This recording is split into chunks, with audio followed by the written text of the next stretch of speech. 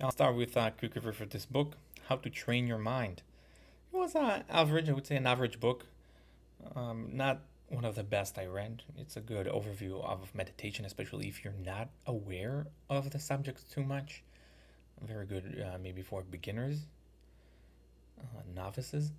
If you know some a little bit about it, especially if you're you, you're doing it for a while, I wouldn't I wouldn't say you get too much out of it, but it's well written, uh, mostly fun, uh, and uh, um, and it's short, which is good. That's why I'm gonna give this book a three. Let's see the notes. Productivity porn is watching or engaging in what is supposed to help us be more productive. So that's productivity porn. We were just looking on how to get more productive without really getting more productive. Those times in which it's harder to focus on the breath tend to be those times who benefit us the most. So those times basically it's harder for us to meditate. Those are the times that it's good for us to meditate. A more active form of meditation is eating or drinking. Sometimes we will have problems um, because we are inactive, so we can divert or defer to doing more active forms of meditation, such as eating or drinking.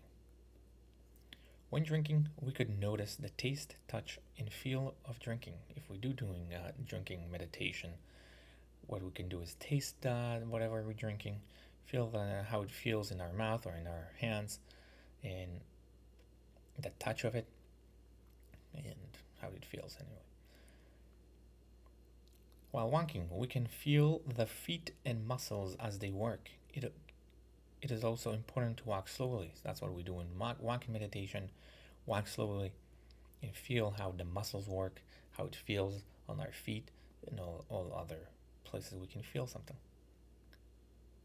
According to the author, meditation is not standing in the way of rumination. He says that it's not because you can have other times in which you ruminate.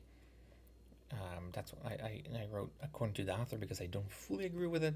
I think if you're doing it a lot and noticing it and you ruminate, it, it could interfere. And I definitely noticed about myself that all of a sudden you're, you're noticing you you ruminate and you stop because that's what meditation is all about. Stopping, stop being lost in thought. And it's hard to keep the thoughts going when you, you notice that, that you're lost in thought. It's just kind of an automatic reaction for good or bad. So, but it is somewhat standing in the way of rumination, in my opinion.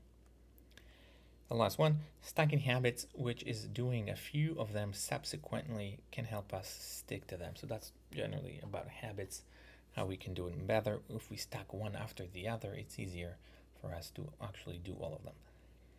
So that's for the notes. And again, there is some a little bit interesting point. It's, it's kind of entertaining. So if you're new to meditation, I would recommend. If you're not, I would not. Thank you.